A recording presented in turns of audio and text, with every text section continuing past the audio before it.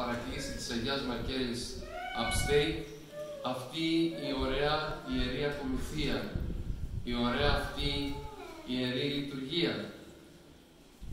Και ευχαριστούμε που ήρθατε στο άκουσμα αυτό που να κάνουμε αυτή τη λειτουργία για τους Αγίους της Χίου. Δεν σημαίνει ότι γεννηθήκαν μόνο οι Άγιοι και ήταν χιώτες αυτοί, αλλά ήταν και οι Άγιοι που πήγανε σε αυτό το νησί και μαρτυρήσαν και ζήσαν τη ζωή τους, αλλά και περάσανε άλλοι Άγιοι από τον τόπο αυτό, το μυροβόλο που λέγεται η νήσος Χίος. Οι Άγιοι αυτοί δώσανε τη ζωή τους για τον Θεό.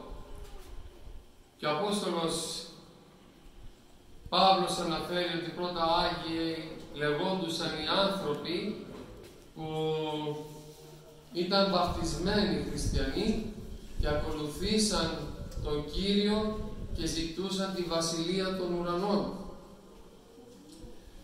Όμως τον 4ο αιώνα Άγιοι πήραν το όνομα οι λίγοι, οι ελάχιστοι άνθρωποι που δώσαν τη ζωή τους στον Θεό που καθαρίσανε τη ζωή τους από τα πάθη, που αγωνιστήκανε για την αλήθεια, που μεταδώσαν το Ευαγγέλιο και ο Θεός ενεργεί πάνω σε αυτούς τους ανθρώπους.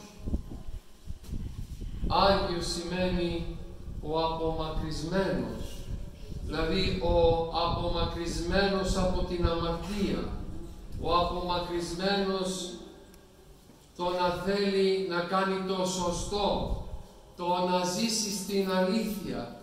Και αυτό καλούμαστε από όλους τους Αγίους και ειδικότερα από τον Κύριο να ακολουθήσουμε την ίδια την αλήθεια, το Ευαγγέλιο, τον Χριστό. Και αυτά είναι τα παραδείγματά μας οι Άγιοι. Άλλοι είναι όσοι, άλλοι είναι μάρτυρες, άλλοι είναι ομολογητές, ο κάθε ένας επέλεξε τη ζωή που θα έδινε το κομμάτι του στο Χριστό. Γιατί πολλοί δεν θέλαν να μαρτυρήσουν κάποιοι άνθρωποι και χάσαν το στεφάνι τους. Ενώ άλλοι πήραν την δύναμη από το Θεό να ομολογήσουν την αλήθεια και δώσαν τη ζωή τους. Και ο Θεός ξέρει να ανταμείβει τον κάθε άνθρωπο. Όπως είπαμε, το κάθε ένα που είναι παρόν ο Θεός αγιάζεται.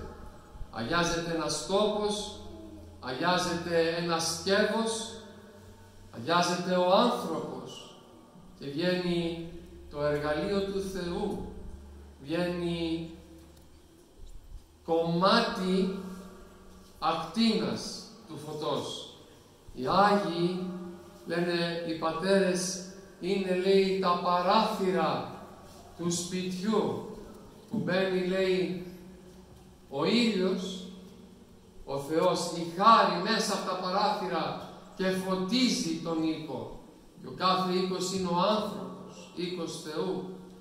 Και έχουμε την ψυχή του Θεού μέσα στο σώμα μας και καλούμαστε να τη φυλάξουμε, καλούμαστε να την περιπίσουμε, καλούμαστε να διορθωθούμε, όποια και αν ηλικία και έχουμε, αυτή η πιο μικρή, η μεσαία, η πιο μεγάλη, και να δώσουμε τον οβολό μας αυτό που πρέπει καθαρό,